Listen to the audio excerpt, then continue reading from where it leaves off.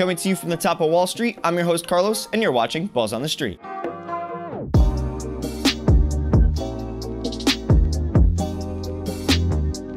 Blueberries Medical Corp, a Colombia based cannabis producer, just announced a new addition to its agricultural property in the Bogota Savannah.